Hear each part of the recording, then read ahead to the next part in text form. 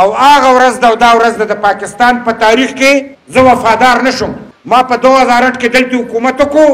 دهشتګردي میدان ته راله زه دهشتګردۍ ته مخامخ ودرېدم دهشتګردو اعلان وکړو چې زه په اسلام آباد قبضه کوم یو ورځ په منځ کې وه موږ میدان ته ووتو د باچا خان سپیان موږ ورته چې موږ ژوندي یو په هېڅ قیمت باندې موږ د دې اجازت نه درکوو موږ خپل سینې سوری کې خپل بچیم شهیدان کړ دهشتګردو ته مخه ونیوه، اسلام اباد هم ترېنه بچ کړو او د پاکستان جنډه هم ترې بچه کړه، خو بیا هم موږ دوی ته ښه نه شو، دوولس سوه موږ شهیدان ورکړل، بیا هم ښه نه شو، سلسله روانه ده. ما نه ګیله کې وایي که اباسین ختلی نه وی په ګنګخړو کې به چا موندل ټیکونه، چې نشنلیان نه وی تا به په چا مزې کولې، دا د صبر سپایان، دا د مینې سپایان، دا د امن سپایان، خو داسې خو نه ده چې ګنې ته به دا عدم تشدد واله ووژنې او ته پاتې شوې، نه! مرګ هر چا له شته خو د عدم تشدد چې څوک مري په عزت مري او د دوی مقابله کې چې څوک مري په بېغیرتۍ او په بېعزتۍ باندې چې کوم دی دا زمونږ ګرانو ملګرو د خدای خدمتګارو زمونږ د بابړې د ورځې دا کربلا ثاني دا د پښتنو کربلا دا په هغه میدان شوی او داسې تسلسل روان دی مونږ سره ډیر شهیدان دي خو زه په دې دا خبره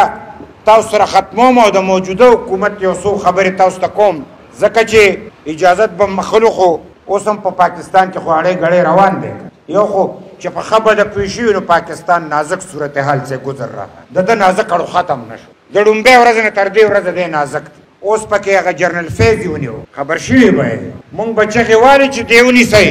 نی نیو سپریم کورټ وته کیس حواله کړو تحقیقات یو کدا لا د زمکه خبره ده خو موږ د موجوده خلکو ته وایو چې خو د نیو خو کیس یوازې د زمکه نه دی ملک تبا کړی د شتګردی ری ارګنایز کړی دی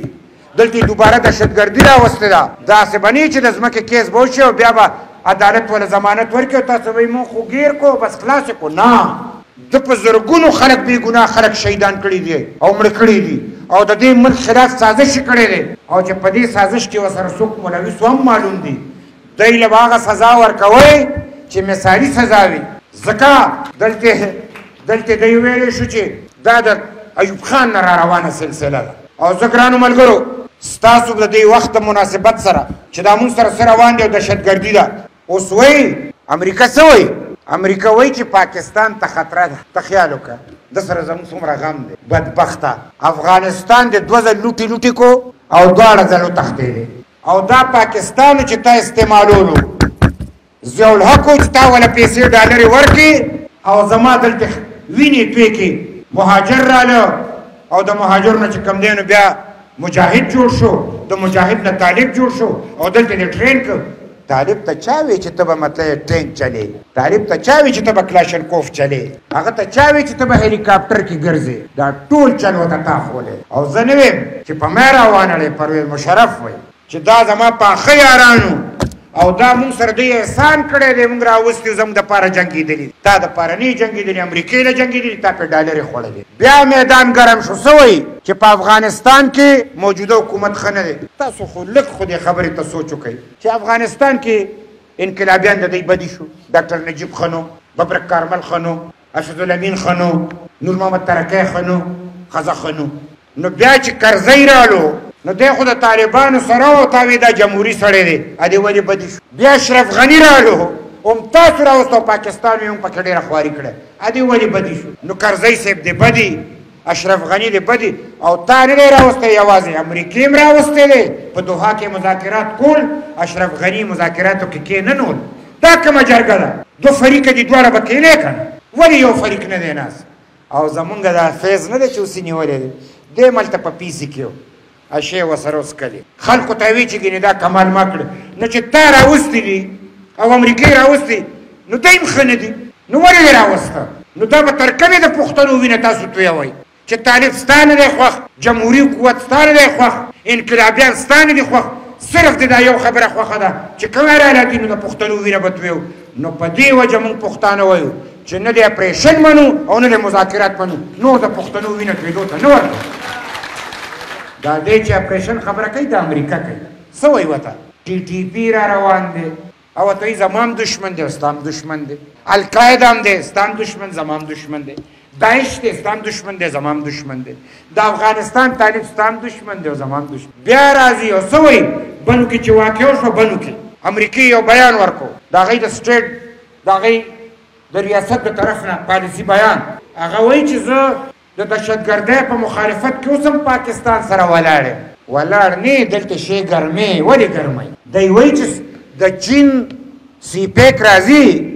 نو دهشتګرد دوی چې عین یره ده نو دهشتګردي ختمو داسې نه وي دا دروغ کوم ځای دهشتګرد نو ختم که که سی پیک کوم ځای دلته خو یو چرنه دې راوستی دی ته سی پیک وي اصلي سی پیک خو پنجاب کې نو چې ته خامخا وې نو دوه اویا کاله دم تنظیمونه ستا په پنجاب کې دي دهشتګردو ورکه کنه یو ډز ورکه کنه دی پنجاب نه شروع کا دا پنجابي طالب چې کوم دی نو دی طالبانو مشر دی ماستر مایند دی نو هلته د ګل ګزار نه کې په ما باندې به ګزارونه کې ما به وجنې ستا اپریشن کې لوبه ده ستا مذاکراتو کې لوبه څه وایو نېشنل پارټي څه وایي مونږ وایو چې دا قوم به اعتماد کوي ځکه زیات پکې پښتانه مري د پښتانه به اعتماد کوي سټیک هولډرز قوم به اعتماد کوي او بیا ورپسې چې کوم دی اسمبلی به اعتماد کوي ورپسې چې کوم دی پارلیمنت یعنی سېنټ قومي اسمبلی دا به اعتماد کوي اله به چې کوم دی پالیسی جوړی او پالیسی چې جوړی دا به د امریکې په مفادو کې نی دا به د قوم په مفادو کې اندرونی او خارجه پالیسی به بدلی د قوم د پاره پالیسی جوړی بیا به چې کوم دی چار سکه هغه کې چې مونږه په ملکن ډیویژن کې اعتماد کې قوم وښتو چې اپریشن هم کولم کامیاب او چې مذاکرات هم کولم کامیاب د نشنلیانو نه چل زده کوي تاسو په موږ لوبې کوئ. ګرانو ملګرو دا هغه پالیسي ده چې اوس دلته یو بل جنګ تود دی او په دې د نجات غواړم چې تاسو وایئ دا جنګ ولې تود شو؟ یوکرین کې امریکې وال وخوړل. د امریکې دا خیال و چې یوکرین کې به زه روس ونښلوم، روس ولا ښه اډګوډ مات کړ. راړو دې اسراییل ته. اسراییل کې یې میدان ګرم کړ او اسراییل د طرف نه په ایران باندې اټیک وشو، ایران د هغې جواب وکړو. اوس چې کوم دی په ایران کې هغه مطلب چې کوم کسان شهیدان کړي دي نو څه چل شو روس اعلان وکړو روس چې کچرته ایران ته چا سو وینو زو میدان ته راځم دی با سره باته ولګیدا افغانستان اعلان وکړو چې ایران ته څوک سوي دا زما غونډي نه زما د ایران سره ولاړ د اسرائیل خلاف د اسرائیل خلاف په امریکا کې اکثریت خلک چې کوم دی روزي او د اسرائیل خلاف دي او موږ څه وایو اسرائیل د ازادۍ جنګ کوي د حق خودرادیت جنګ کوي دا د هغه حق دی مونږ چې کوم دی د فلسطینیانو سره ولاړ یو اسرائیل ظلم کوي مونږ د اسرائیل چې کوم دی مخالفت کوو او د فلسطین سره کلک ولاړ یو او د فلسطین چې کوم دی نو ازادي غواړو دا ګرانو ملګرو که داسې وشو دا شی به ختم شي که دا دریم نړیوال جنګ شروع شو او اوس د ایران اټیک ته انتظار دی چې دی به په کومه طریقه کوي او چې دی کله اټیک کوي نو امریکا وایي زه به پرې راځم چې دی څنګه راځي نو چې هغه راځي نو بیا به روس څنګه چل کوي او چې امریکا راځي او دا جنګ کیږي نو سی پیک به ودرېږي که نه نو د چین مفادات هم خرتا شو نو چین به میدان ته راځي نو چې دا سونډاګان میدان ته راشي نو علمي جنګ شو که نه شو نو زما د بابړې شهیدان او نن زما د پښتونخوا خاوره هماغه پیغام دی که هغه قیوم خان ظالم و نن چې کوم دی نو امریکا او زما اسټبلشمنټ ظالم دی دا ظالم زما سر ته چې کوم دی ناست دی او زما تبای ته ناست دی ای پښتنو چې سړی په غم کې جاړي هم خوند نه کوي پښتون سره جړا خوند نه کوي خو خدای شته چې سړی د ډیر غصې نه سړی د جړا ور چې په داسې ملک پیدا د نرانو قدر پکې نشته د غیرتیانو قدر پکې نشته د ایماندارو قدر پکې نشته دا څنګه حکومت دی او دا څنګه ملک او دی چې جوړ شوی دی تر دې دمه د داړو قبله درست نه شوه مونږ ورته وایو مونږ چې که چېرته تاسو په رښتیا باندې دلته حالات ټیک کول غواړئ د پړوسیانو سره به ښه تعلق جوړوئ افغانستان خودمختار ملک دی هغه نه څه غواړي ایران ځان له خودمختار ملک او دی بنګالیانو سره اوس ډېر کلک ولاړ خیال هم دی که دی سره د بنګالیانو ډېر غم دی یاره خو نه راندي اسینه واجد او تختو لکه هغه ډیر خلک تختولي دي خپل تختیدل د تیات شو کنه دا خو څه خبره نه دا غي ملک ته ای په شوکارې پوه شه مونږ په ډیر تفصیل کې کې نه ځو خو دا خبره چې دی کوي چې هغه ته چې کم دینو ډیر ښه کار شو دا دی د کس ته ځکه وایي چې هغه یو خبره کړې ده حسینا واجد هغه وایي زما حکومت نه ختمېدو خو ما نه امریکې اډې غوست ما ډنه ورکړو اوس پاکستان ته وایم چې شی دې ټینګ کړه. تا خو اډې ورکړي هم دي که بیا درنه غواړي چې ورنه کړې. اډه یې ځکه نه ورکوو له خپل حکومت یې بیل خو اډه یې ورنه کړه. ځکه چې دې سازشیانو له اډه ورکړي خو خپل وطنیان به وژني که. هغې خپل قوم بچ کړو. تاسو کې هم که د حیا لږ غیرت وي او سوتر غیرت وي خیر دی دا حکومت پرېږدئ خو دلته یې پالیسۍ ټیک کړئ. امریکې له اډه مه ورکوئ. د امریکې لپاره خپل بچي مه وژنئ او پښتانه خو بیخي مه وژنئ او که تاسو خامخا موږ وژنئ نو وای دا چا خبره چې وای زما د سره تیر او خدای مکه دنیا ډیره که ته پښتنو ته غلي نو موږ هم د خدای نه یو سوال کو چې یا خدای دا اور چې په ما بل دی داسې په بل کې چې دا ټول خلک پکې په یو ځای باندې په یړو سوځي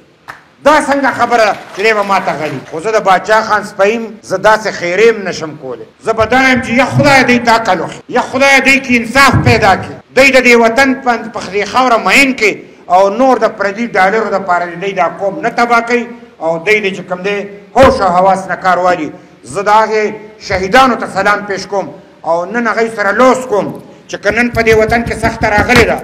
نن که حالات خراب شوي دي اے پښتنو په مرخ عمرو خو که یو ځای مړ شو په غیرت به مړ شو د یو بل تماشه به نه کوو خدای دې نه کړي چې موږ ځان مړ کړو موږ ځان نه مړ کوو خو دا خبره ده چې د دې وطن حفاظت خو به کوو، نو د وطن حفاظت که د بچو په وینه باندې هم به کوو او که په خپل سر باندې وي هم به کوو، دا وطن به ګټو، دا خاوره به ګټو، خپلې خویندې میندې به ګټو، خپل نیکونه به ګټو، خپل عزت او خپل غیرت به ګټو، که سر هم ځي نو شر ته دې لاړ شي، موږ چې کوم دی نه پچالیږو. ډېره مهرباني، زه درنه په دې ایجاد غواړم، وایي زه یم پښتون، زه یم پښتون، زما په سر شمله کږه وتړئ، پس له مرګه چې مې زنه په خاصه وتړئ، دا مې د پلار نیکه یادګار دی ژوندی پاتې شي غازې د قبر ته مې توره او نیزه وتړی که په ژوندون مې پوره نه شو دا ارمان دی زما د انقلاب جنډه زما په جنازه وتړی